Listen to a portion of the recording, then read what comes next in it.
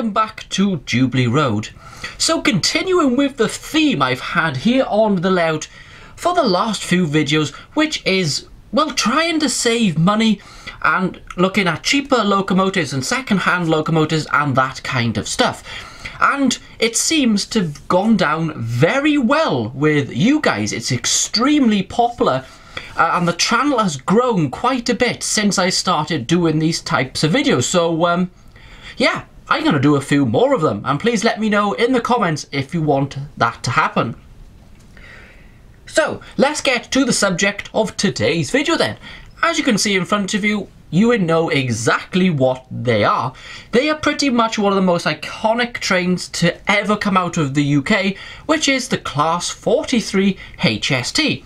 Now, I would imagine you know what HST stands for, High Speed Train. These could do 125 miles an hour, and they hold the uh, record for the fastest ever diesel train. I can't remember exactly how fast it actually went, but I know it was more than 125 could have been around the 140-ish mark. Don't uh, take my word for that. Uh, I should have done my research on that, shouldn't I?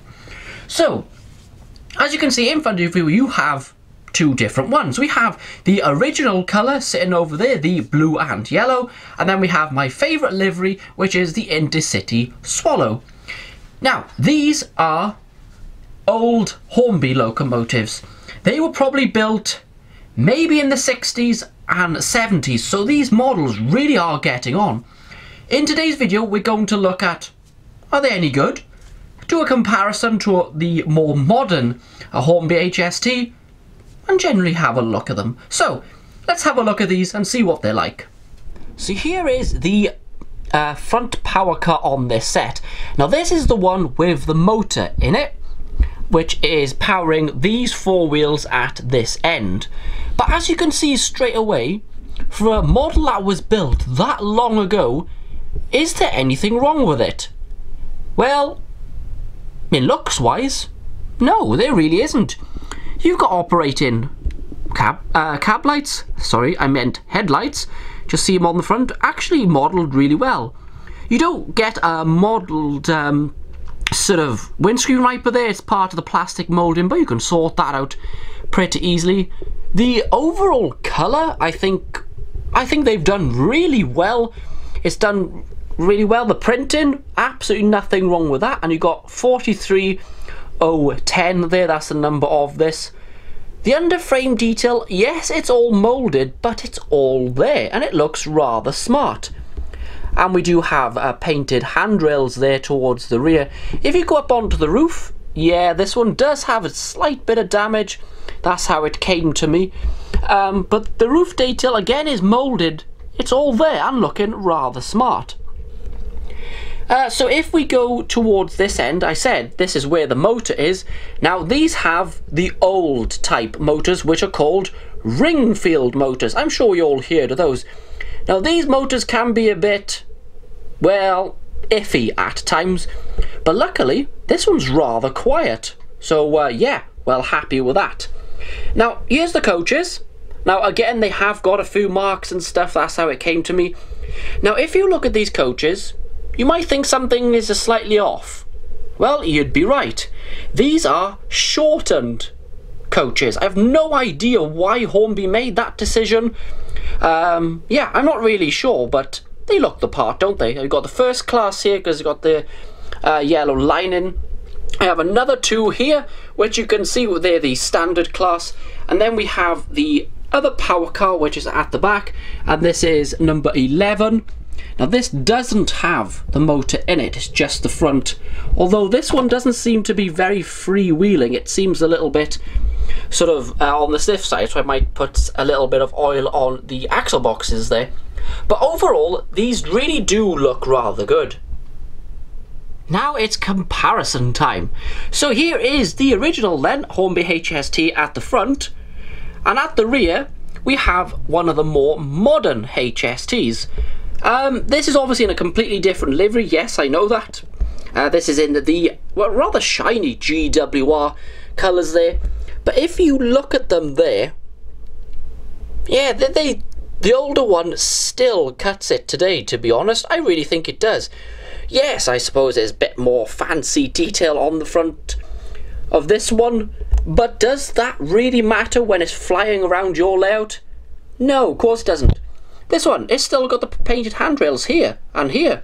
The numbers are still pr printed really well and the, the GWR's printed well, just as the Intercity 125 is printed well. So if we come back,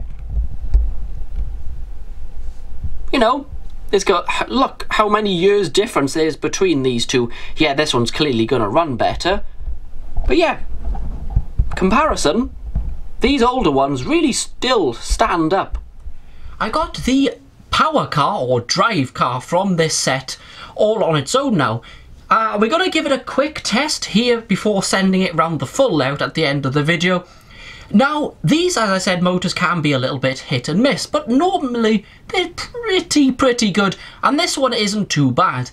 Now, this hasn't had a service for about 10 or 15 years. It was in storage for probably most of that uh, from a family uh, member, and they would give it to me about possibly five, six years ago, and I've hardly run it and I've not touched it.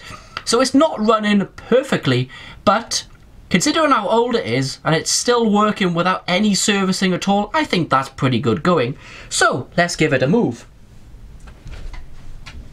Now this is completely original, there's no fancy DCC chip in it, it's just the Ringfield motor as it was intended. So let's go in reverse and see how we do.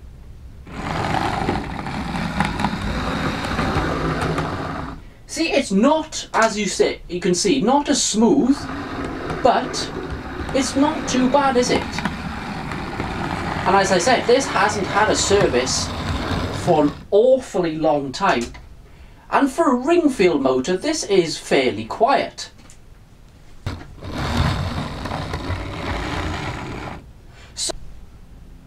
You know, yeah, it does run a little bit on the rough side, but that's more down to me not giving it a service. And I definitely will do a sort of a revisit to this uh, in the next few weeks where the motor has been completely serviced and we'll fit it with possibly a decoder and stay alive uh, and add a couple of extra coaches to it and we'll come back and see really how these uh, run. Let me know then, do you have one of these? Um, I'm sure you do, uh, knocking about your layout or in storage or in a box somewhere. I really like these, and the good thing about these, they bring back memories. That's the good thing about these older locos. And I'm going to say this quickly, I think we've kind of lost our way a little bit in the model world. We are all obsessed with how detailed and how you know, extras and all this and sound that we can pack into these locos. And we're kind of missing the point a little bit of model railways is having fun with model railways. And these this is what these older models give you.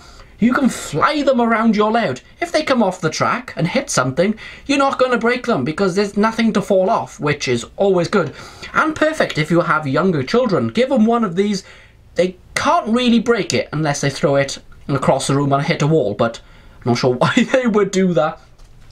So let me know in the comments your thoughts and whether you think you should still buy these. I really think they should. They definitely have a place on your layouts even today.